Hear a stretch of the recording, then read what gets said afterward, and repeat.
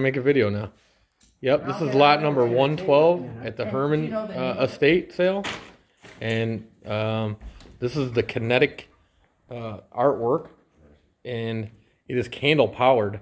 So the heat rises from the candles and it spins the uh, it spins the propellers and then the propellers move the uh, all the, the people inside of it.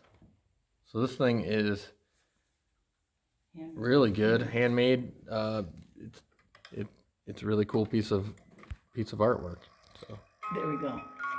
there you go, and it has a, it has, a- it has a music box too. Silent Night.